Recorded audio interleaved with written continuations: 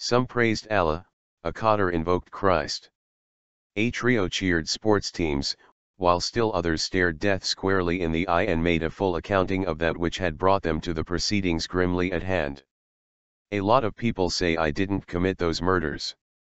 I really did, said Elroy Chester, moments before he became the 499th person put to death in Texas since 1982.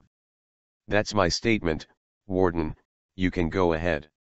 This week, the Lone Star State executed its 500th inmate, one Kimberly McCarthy, since the Supreme Court reinstated capital punishment in 1976.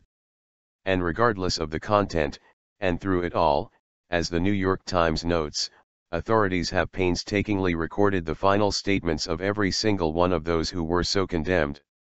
It's there that one can find all of their mournful admissions, railings against the system, final instructions, and prayers for hope in the great beyond that immediately preceded the court-ordered reckoning they would momentarily suffer for their crimes. Ronnie Threadgill, convicted of a fatal carjacking, used the opportunity to say, all the guys back on the row, keep your heads up, keep up the fight, before telling the warden, I am ready.